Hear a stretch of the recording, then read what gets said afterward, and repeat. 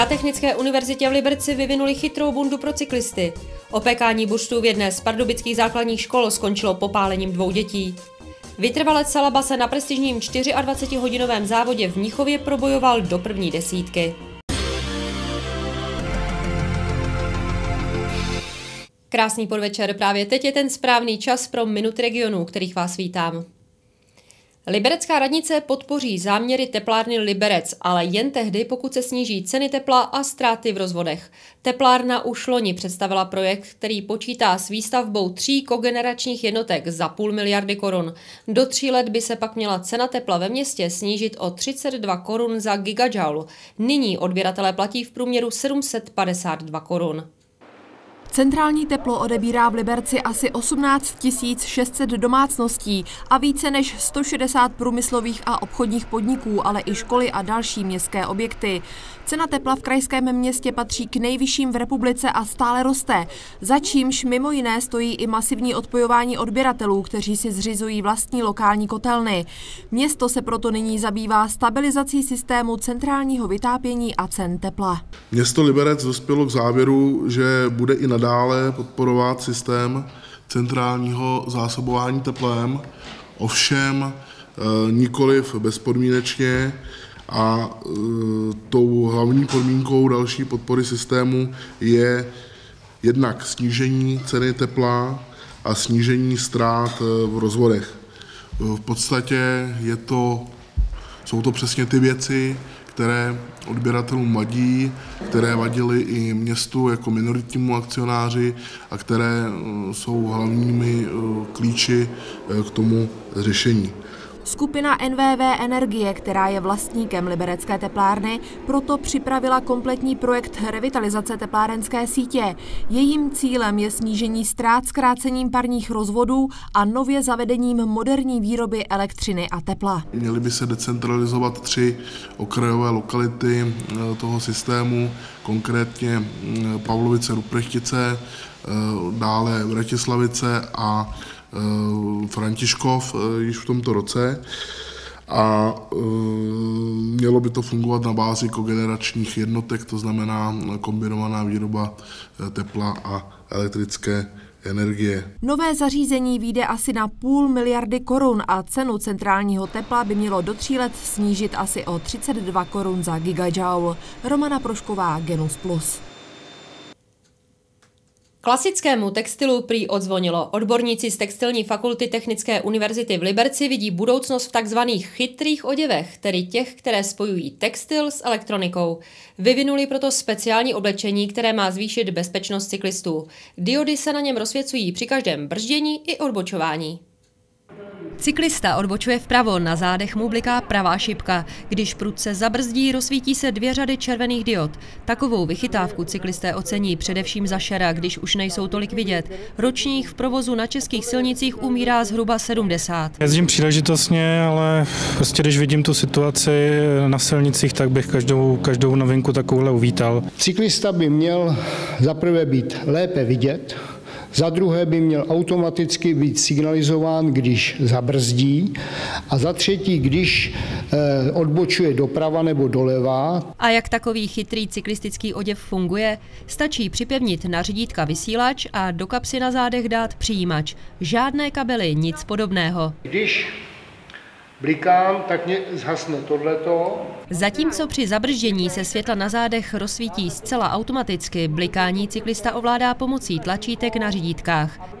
Při jejich stisknutí se kromě šipky na zádech rozsvěcí i kontrolní dioda umístěná na rameni bundy. Nenahrazuje to legislativu, to znamená, ten cyklista musí ukazovat tou rukou. Diody v bundě nezabraňují běžnému praní, stačí odpojit přijímač. Univerzita má tuhle světovou novinku chráněnou. Ještě letos by se měla objevit na veletrhu v Německu, příští rok pak na pultech v obchodech. Cyklistická bunda ale není jediným smart oděvem, který pod rukama odborníků z Liberecké univerzity vznikl. Spojení textilu s elektronikou prý bude za pár let úplně běžné. Myslím si, že to, co by mělo čekat oděvní výrobu, je do nějakých pěti, deseti let výrazná integrace elektroniky. Takový oděv vám prý nejen změří teplotu, ale třeba i zjistí, jestli nejste právě před kolapsem. Jana Šrámková, Genus Plus. O odvolání primátorky Liberce Martiny Rosenbergové měli jednat zastupitelé ve 100 tisícovém Liberci. Primátorka čelí obvinění v kauze odměn v dozorčí radě Liberecké nemocnice.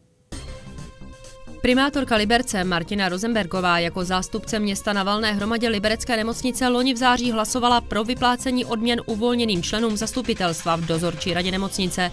Nakonec se ale návrh na odvolání primátorky ani nedostal na program schůze zastupitelstva, protože se nenašlo dost hlasů pro jeho zařazení. Velká část opozičních zastupitelů, kteří vedení města dlouhodobě kritizují, se totiž vůbec nedostavila. Prezidentským kandidátem ODS bude senátor z Liberce Přemysl Sobotka. V primárkách porazil europoslance Evžena Tošenovského. Sobotka získal od spolustraníků 61% hlasů, Tošenovský 39. Dosavadní informace z primárek ukazovaly, že hlasování v regionech se účastnila přibližně čtvrtina z asi 27 tisíc členů ODS.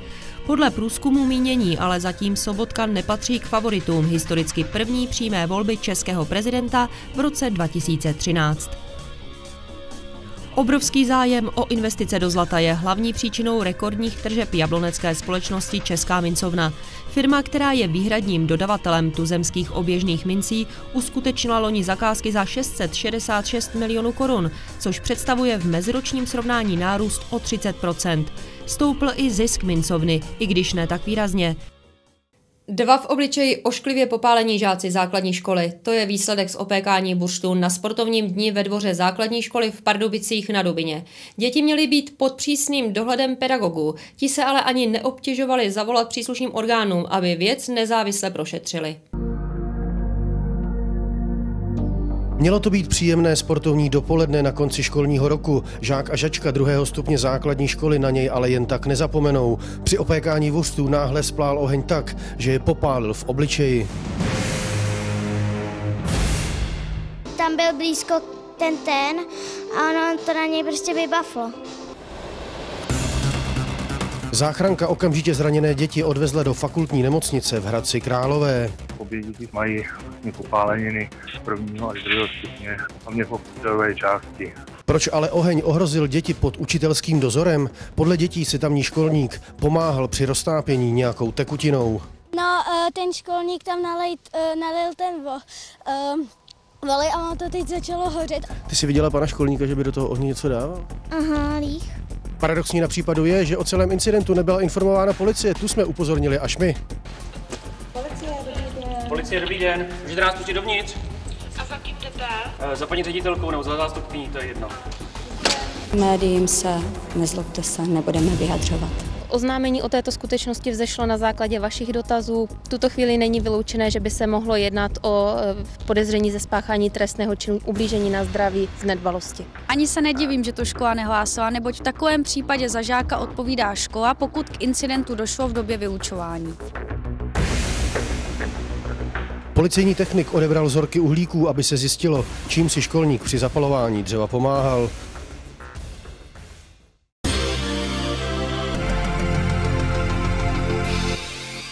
Vytrvalostní cyklista Petr Salaba vybojoval na největším 24-hodinovém závodě Evropy výborné deváté místo. Na rozbahněné trati na Mnichovském olympijském stadionu se prosadil v konkurenci tří tisícovek závodníků.